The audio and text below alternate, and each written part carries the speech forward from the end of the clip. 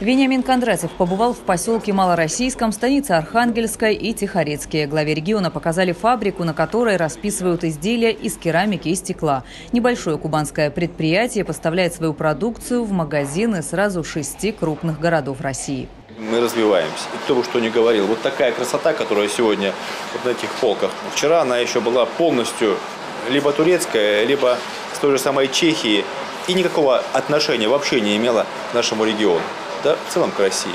А сегодня мы красоту создаем здесь, в Тихорецком районе.